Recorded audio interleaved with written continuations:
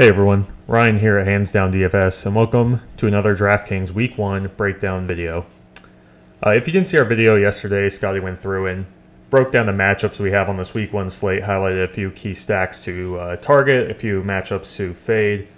Uh, we'll link that down in the description, go check it out. And also, we'll be coming out later this week with our full Week 1 DraftKings slate breakdown, so stay tuned for that. For today, we're going to be doing a first look at some of the players we have on this slate. I went through a little bit before this, just browsed through the prices for the first time and took note of some of the guys that I uh, like their price of, some guys I don't. So we're just going to go through quickly all the positions and just kind of see what stands out upon first look. Uh, we'll start at the top with quarterbacks. Uh, again, if you didn't catch Scotty's video, he talked a lot about this Cardinals Titans game, and you know, for a good reason. It sh should be high scoring. You have Kyler Murray here at 7,600 if he starts off the season like he started off last season, I mean, he'll have the highest ceiling on the slate guaranteed. Uh, you know, he, he's throwing the ball 30 times a game, and on top of that, he brings you a safe floor as well as a high ceiling with his rushing upside. You know, towards the beginning of last season, you can see here he's rushing 13 times, 8 times, 5 times, 6 times, and, you know, for good yardage, like you know, averaging over 8 yards a carry. Uh, kind of tailed off towards the end of the season. I guess defense is kind of schemed and figured out how to contain him. But again, if I, I really like Kyler Murray, uh, I think he might be a little bit chalky here at 7,600, but I think he's got a huge upside. Uh, just going down one guy, Josh Allen. Uh, obviously, the Steelers have and always will have a great defense. Uh, TJ Watt looks like he's going to play today, and they also added Melvin Ingram over the offseason.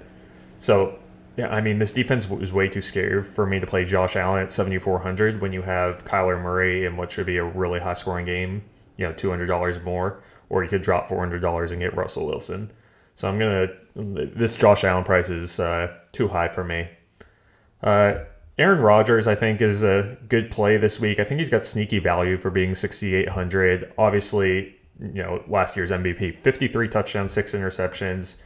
He's got the best receiver in the league. I don't think there's really an argument to that. And Davante Adams on this team, who he can just you know throw the ball up to, and that, that that's why he's getting like four touchdowns a game basically last season.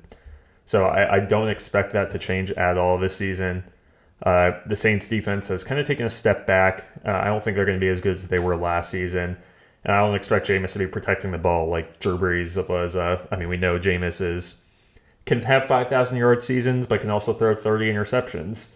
So there's going to be a lot of, I think, a lot of possession for Green Bay. You know, even if he throws two interceptions, that's two more times Aaron Rodgers has a chance to throw a touchdown. Uh, you know, it, it also means potential for Aaron Jones at running back. We'll get to him later, but I, I think both of them are good prices. All right, the rest of these guys, they're kind of their prices aren't too bad. I kind of agree with uh, kind of agree with them. 6,500 for Ryan Tannehill. Again, high scoring game. He's now got two big targets on his team. I think that's a good price. Uh, kind of more value play I like. Call me crazy, but Ryan Fitzpatrick here at where is he? Five five thousand five hundred. Ryan Fitzpatrick. Uh, the Chargers defense isn't bad, but you know Fitzpatrick is playing like he's on borrowed time, and he, as we saw last year with the Dolphins, he just will heave the ball without a care in the world. Um, you know, it brings into brings interceptions into play. As you can see, he's he had some struggles with that, not as much as Jameis Winston, of course, but he struggled with that. But also, that means you get these three touchdown games. And uh, Washington's got a pretty decent wide receiver corps as well as tight end. Uh, Curtis Samuel's questionable. Like, let's see if he's going to play. If he does, I think that's a really good one-two receiver um, with Terry McLaurin. So I, I, I think Fitzpatrick has sneaky value there.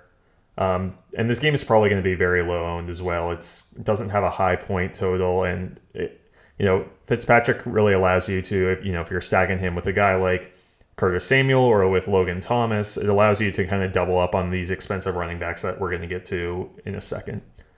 Uh, I also want to take a look at the rookies we have on this slate. Uh, starting off with 6,200 is Trevor Lawrence. Uh, he, he looked comfortable in the preseason. Obviously, it will be basically another preseason game with this Houston Texans team, who's basically a college football team at this point. They don't have anyone on their team that's kind of worth worrying about. Uh, it, this game will go one of two ways. You know, Urban Meyer's going to either see what Trevor Lawrence can do and let him throw the ball even if they're up big, or you know they might get up a touchdown or two and they might try to protect him and run the ball more, and that's when we'll see James Robinson come into play. But at 6,200, uh, you know, it, choice is yours on Trevor Lawrence. I'm probably going to fade him. Uh, I, I still want to give him a week or two to see, you know, how he handles the pressure of being in the big leagues. So, but but I, I do see potential there, especially in week one where anything anything can happen.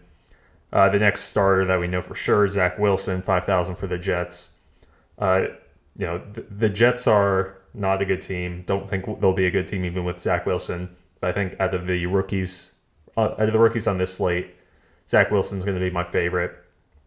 They, they got decent receivers. They had a Corey Davis.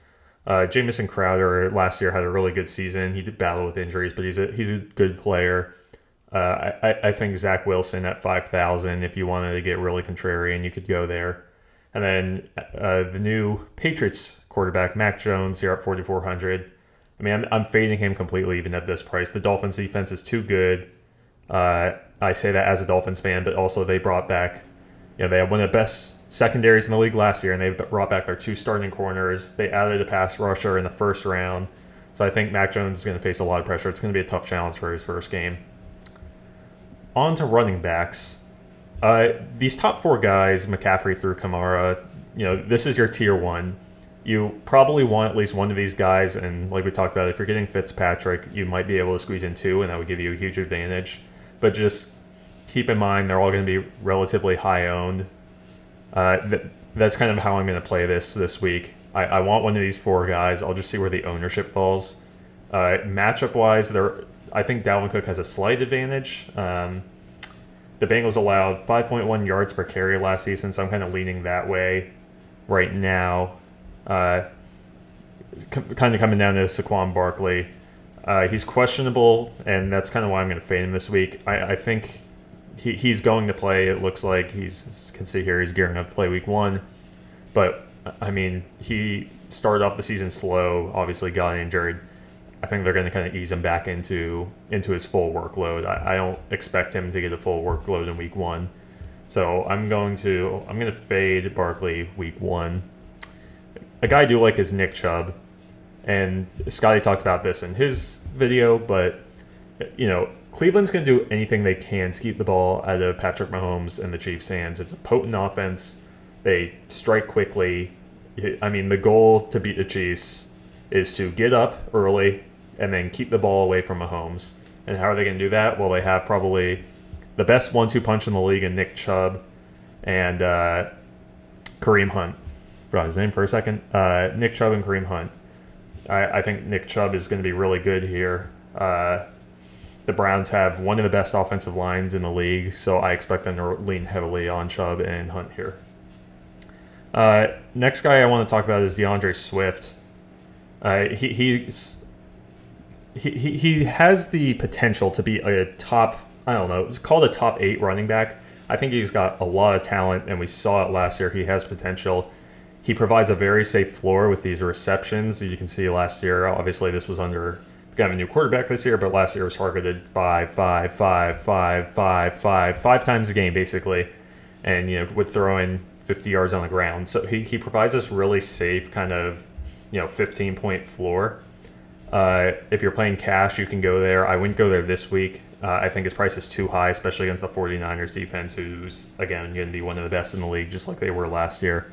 So I don't like Swift this year or this week, but you know later on in the season, I think he's a really good cash gameplay. I think if his price falls to kind of like where it was mid last season in this low six thousand range, yeah, I think you can keep hammer him in every 50-50 you have, and that would be a good play. Uh, James Robinson at 6,400. Obviously, he's going to be the recipient of Travis Etienne's injury. And we talked about with Trevor Lawrence, Houston, uh, not very good. The Jags will get up big and we'll see are they going to keep throwing the ball. Let's see what Trevor Lawrence has to start the season on a you know probably the easiest game he'll face on the season, or do you just keep handing it off to James Robinson, let him get his work? He was a breakout star last year. Uh, I mean, he started the season so hot. He continued it throughout the season. kind of fell off at the end here, but I, I, I really like James Robinson at 6,400. I think think he's going to be a great play, especially if this game blows out like I expect it to. And then just upon first look, Chris Carson here at 5,900 seemed pretty cheap. I mean, he, he doesn't get you the high ceiling that some of the other guys do. You see here, I mean, he averaged 15.2 points a game last season. But really, when you're playing him, you're expecting a number like this 13.9. Uh, but I think just 5,900 is really cheap, and I think Seahawks, similar to the Jags, will get up pretty good. I think he'll he'll get a decent amount of work. Uh, as far as value in this running back position, a couple guys I like are the guys on the Cardinals. Where are the guys on the Cardinals? So we got Chase Edmonds here at 4,600, and we got James Conner at 4,500. $100 a piece, $100 separating them. Uh, I third time mentioning this, but the Cardinals Titans game is going to be high scoring. I think it's going to be a shootout. I think it's going to be fast paced. Uh, just like every game Kyler Murray plays in, and you know when you've got guys like Julio Jones and AJ Brown and Derrick Henry who can score in a matter of seconds, th- this game is going to go back and forth. Uh, Conner's going to be your your safer, more volume based play, but I think Chase Edmonds is should be the running back one. Um, he showed some potential last year without Kenyon Drake, uh, or when Kenyon Drake was out. I think he's got big play potential. Uh, he he, he kind of came in as a change of pace back and would you know catch the ball, had a couple long touchdowns. So I think I think Chase Edmonds I would lean if you want to target one of the running backs in this game. And again, they're both of them are so cheap that if you wanted to do stack like you know, you add Chase Edmonds here, you throw in Tannehill at 6,500, his best receiver, number one receiver in AJ Brown, AJ Brown, and I think that leaves you with, you know, say you want one of the top running backs too. You want Kamara also. That that leaves you decent work to kind of plug in some mid-tier wide receivers and tight ends, kind of pump the defense, and you can build a really solid lineup with Chase Edmonds, and he brings you the big play potential. Uh, so let's just move on to wide receivers. I mean, we'll, we'll cover running backs more in detail in the full breakdown, but this is just kind of a first look, so we'll just move on. I mentioned AJ Brown. I think he's he's too cheap here. I know, you know, you see where he was last season at 7,600, 7,300, 76, and he, people are going to be scared of Julio Jones taking away from his production, which I, I'm sure it will happen a little, but you can't cover both of those guys uh, I don't know how you're going to be able to double team both of those guys. And I think AJ Brown is, but both of them, but especially AJ Brown will kind of fall under the ownership that they should be at, considering how high scoring this game should be. So I, I really like AJ Brown here. Uh, another couple guys I like, if we just jump down to the mid range, are the 49ers receivers. Um, I I think this game again, it, similar to the other ones we talked about. Detroit, not a good defense, not a good team this year. San Francisco will get up big, but you know you kind of want to feel out: is this going to be Garoppolo's team or Trey Lance's team? So sure, Mostert might have a touchdown, and uh, you know the running back I picked up in the draft will also get his fair share of work. Uh, it's Trey Sermon. There we go. Couldn't think of his name.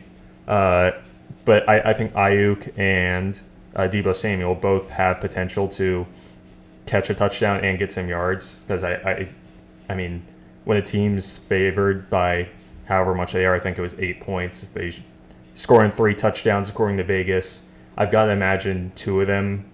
What One of these guys is catching a touchdown, and you know I think two are going to the wide receiver slash Kittle, their their main pass catchers. So I think between Aiyuk and Deebo Samuel and Kittle, you're getting two touchdowns.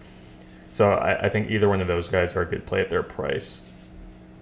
Some more guys I think are way too cheap. Tyler Boyd, Tee Higgins. Uh, Tyler Boyd's at 5200 here. Tee Higgins at 47. I think this is this is really surprising to me. I think Tee Higgins is the best receiver on this team. Ja'Marr Chase has not proved himself yet in the preseason. Has had a lot of drops. Um, he's going to start wide receiver three. I, I mean, I, I, thought coming into the season it would be Tee Higgins wide receiver one, Boyd two, Chase three.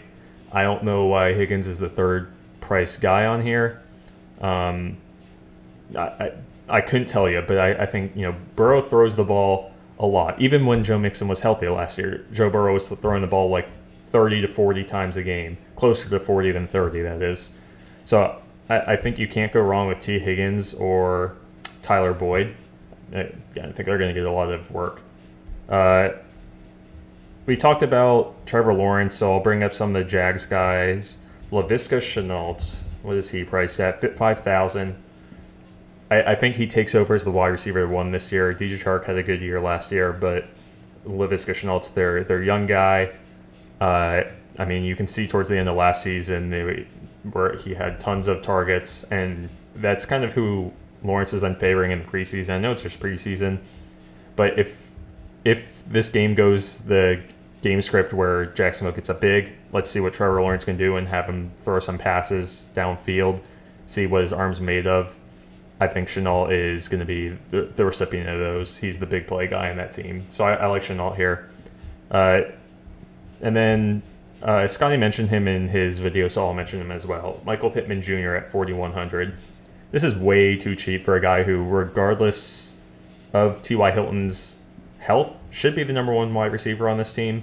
I mean, he was a rookie last year, and he he had a couple games where he kind of popped off. You see 101 yards here. He, he had a another big game, uh, 66 and a touchdown here. So I, I think he has the potential to, you know, be the big receiver on that team. And then you know, T.Y. Hilton is starting starting the uh, year on the bench, injured, not being benched, but he's starting the year injured. So Pittman's the wide receiver one for this game against a Seattle team who will go up fairly quickly. Indy will be playing from behind most of the game, I would think. So I, I think there's going to be a lot of a lot of uh, passing going around on this team, and I think Pittman is going to benefit from that, of course. Uh, tight ends, of course, Kelce's up here, 8,300. I mean, I, I think this is too high though. Uh, he went up to 8,500 once, but this is way higher than he's been at all last season. I know, like, I don't think the loss of Sammy Watkins should impact him that much. I don't think he's going to see like a huge, you know, four more targets a game because they don't have Sammy Watkins. That's not going to happen. I mean, Sammy Watkins was injured like every single game last year, so it didn't happen last year. And of course, he, you know, he has that 30 point ceiling, that 40 point ceiling, but you're paying a big, big price tag for him. Uh, I think there's better ways to go, especially when we talk about Cleveland trying to keep the ball out of Mahomes' hands. Uh, Hockenson and Swift are kind of the only two guys on Detroit that are saving face for them right now as an NFL franchise. You know, giving the Detroit Lions fans hopes that maybe there's a playoff win in their future. I don't know. I don't know what they're hoping for right now, but Hockenson's a talented tight end. Uh, I, they've got terrible wide receivers on this team. I you, you, know you look at the depth chart and th- these guys that you've never even heard of unless you're you know you played DFS last year and you were looking for a 3000 guy just to fill a spot like Quintez Cephus I think he might be their number one receiver. I don't it, it's just an atrocious wide receiver corps. So Hockenson I think is a safe play. I think he's got a good price right now 4900 uh, you, you see he's it, it's like cheaper than he was last year and he's going to be you know now he doesn't have Golladay to compete with going against tough defense, but again, I think he's one of the only guys on this team that they're going to be able to pass the ball to reliably. So I like Hockenson. Uh, just going down the list, Hunter Henry, 4,700 seems way too expensive for a guy who's going to, you know, they're going to run dual tight end sets with Jonnu Smith. Uh, do we know what Mac Jones is kind of what how are they going to scheme him? Is he going to be a guy that throws to tight ends a lot? I would assume so when they brought into, you know, pretty elite tight ends. Uh, but for 4700 I think that's a bit too pricey, so I'm going to fade him. And then last guy I want to talk about is Kyle Pitts. A lot of people high on him. Uh, I don't like him season long. I think he's way overvalued in the season long fantasy league, uh, especially with Calvin Ridley there. But at 4,400, he's such an athletic guy. Uh, you know, th- this we, we know the Falcons love to pass the ball. Matt Ryan can heave it deep, and I think Kyle Pitts will really benefit from that. He's basically, you know, he, he's basically can play out opposite of Calvin Ridley as a wide receiver. He's big, he's fast, he's got great hands. So I think at 4,400, I I'm probably going to take a chance on him. Uh, but once his, you know, once he has a big game, because he will, he's a talented guy. He'll have a big game. His price will go up to, you know, this high 4,000, 5,000 range, and that's when I'll start fading him. Uh, but for now, I, I think we can take a chance on him. Defense, It's defense, just fill in the blank there. You know, don't choose bad defenses against good teams. It's as simple as that. Uh, that'll about wrap it up for this kind of first look at the players video. Um, so later on this week, we'll, we'll have a video out breaking down the slate in full, going into much more detail in every position and a lot of the guys we like, building a lineup, talking about stacks, doing the, the whole nine yards. So stay tuned for that. But thank you guys for sticking with me. Thank you guys for watching. And uh, see you guys in the next video.